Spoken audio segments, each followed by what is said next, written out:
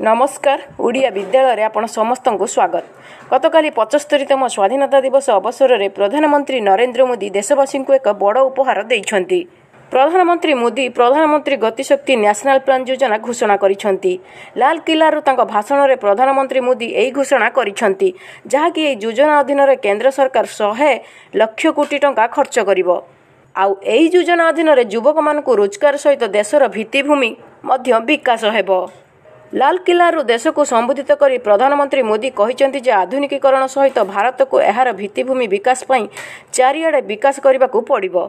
ପ୍ରଧାନମନ୍ତ୍ରୀ ମୋଦି କହିଛନ୍ତି ଯେ ଶହେ ଲକ୍ଷ କୋଟି ଟଙ୍କାରୁ ଅଧିକ ବ୍ୟୟବରାଦ କରୁଥିବା ଏହି ଗତିଶକ୍ତି ଯୋଜନା କେବଳ ଦେଶର ଯୁବକମାନଙ୍କୁ ରୋଜଗାର ଯୋଗାଇବ ନାହିଁ ବରଂ ଭିତ୍ତିଭୂମିର ସର୍ବଦଳୀୟ ବିକାଶ ମଧ୍ୟ କରିବ। ପ୍ରଧାନମନ୍ତ୍ରୀ ମୋଦି କହିଛନ୍ତି ଯେ ଏଭଳି ପଦକ୍ଷେପ ସହିତ ସ୍ଥାନୀୟ ଉତ୍ପାଦକମାନେ ମଧ୍ୟ ଆମ ବିଶ୍ୱ ସ୍ତରରେ ପ୍ରତିଦ୍ୱନ୍ଦ୍ୱିତା କରିବାକୁ ସକ୍ଷମ ହେବେ। ଏହା ସହିତ ଭବିଷ୍ୟତରେ ନୂତନ ଅର୍ଥନୈତିକ କ୍ଷେତ୍ର ବିକାଶର ସମ୍ଭାବନା ମଧ୍ୟ ରହିବ।